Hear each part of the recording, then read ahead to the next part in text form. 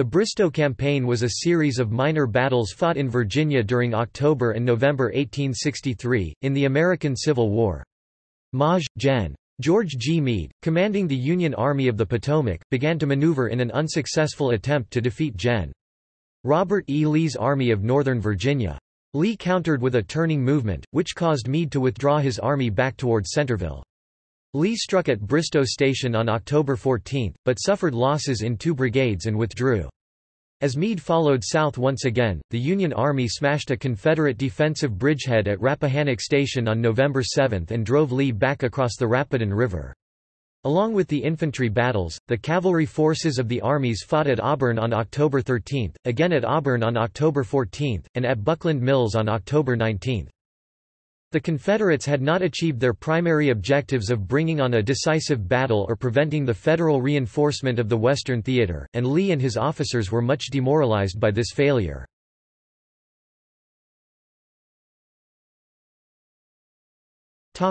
Background After the Battle of Gettysburg in July, Robert E. Lee retreated back across the Potomac River to Virginia and concentrated behind the Rapidan River in Orange County, Virginia. Meade was widely criticized for failing to pursue aggressively and defeat Lee's army. He planned new offensives in Virginia for the fall. Early in September, Lee dispatched two divisions of Lieutenant Gen. James Longstreet's corps to reinforce the Confederate Army of Tennessee for the Battle of Chickamauga. Meade knew that Lee had been weakened by the departure of Longstreet and wanted to take advantage.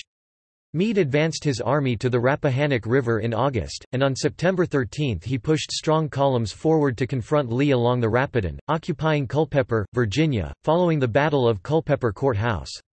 Meade planned to use his numerical superiority in a broad turning movement, similar to the one planned by Maj. Gen. Joseph Hooker in the Battle of Chancellorsville that spring. However, on September 24 the Union had to deplete its forces as well, sending the 11th and 12th Corps to the Chattanooga campaign in Tennessee. Lee learned of the departing Union Corps, and early in October he began an offensive sweep around Cedar Mountain with his remaining two corps, attempting to turn Meade's right flank. Meade, despite having superior numbers, did not wish to give battle in a position that did not offer him the advantage and ordered the Army of the Potomac to withdraw along the line of the Orange and Alexandria Railroad.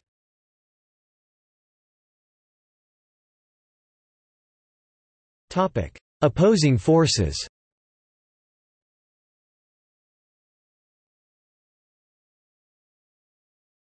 Topic: Union.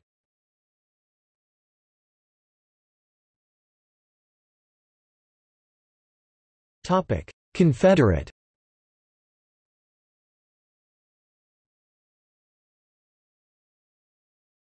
Topic: Battles. Topic Auburn October 13 to 14 On October 13 Maj. Gen. J.E.B. Stuart was on one of his typical cavalry raids to capture supply wagons and blundered into the rear guard of the Union Third Corps near Warrenton. Lieutenant General Richard S. Ewell's corps was sent to rescue him, but Stuart hid his troopers in a wooded ravine until the unsuspecting Third Corps moved on, and the assistance was not necessary. As the Union Army withdrew towards Manassas Junction, Meade was careful to protect his western flank from the kind of envelopment that had doomed Maj. Gen.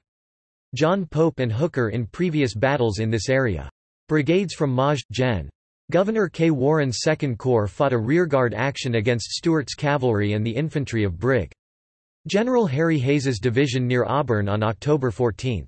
Stuart's cavalry boldly bluffed Warren's infantry and escaped disaster.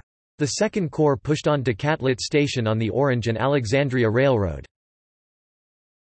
Topic Bristoe Station October 14 Lieutenant Gen.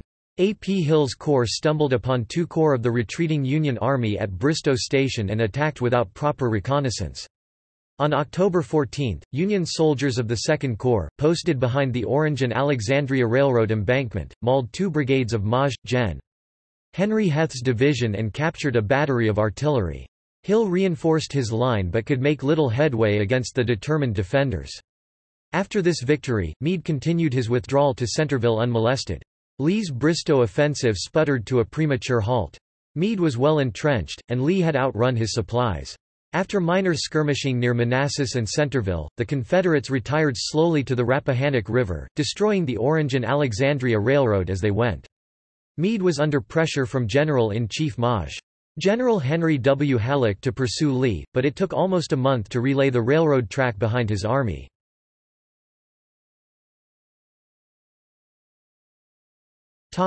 Buckland races October 19. After defeat at Bristoe Station and an aborted advance on Centreville, Stuart's cavalry shielded the withdrawal of Lee's army from the vicinity of Manassas Junction. Union cavalry under Brig. General Judson Kilpatrick pursued Stuart's cavalry along the Warrenton Turnpike but were lured into an ambush near Chestnut Hill and routed. The Federal troopers were scattered and chased 5 miles 8 kilometers in an affair that came to be known as the Buckland Races.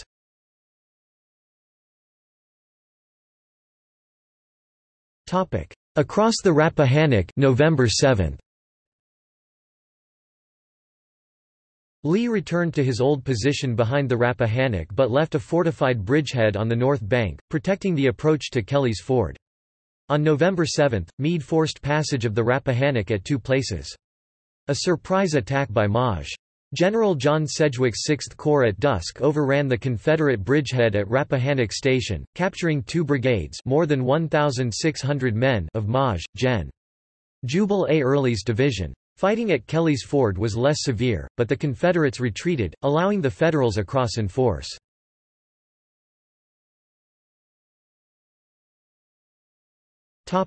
Aftermath On the verge of going into winter quarters around Culpeper, Lee's army retired instead into Orange County, south of the Rapidan. The Army of the Potomac occupied the vicinity of Brandy Station and Culpeper County.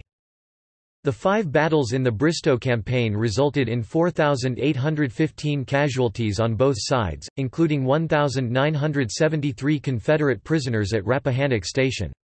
Lee and his officers were disgusted with their lack of success.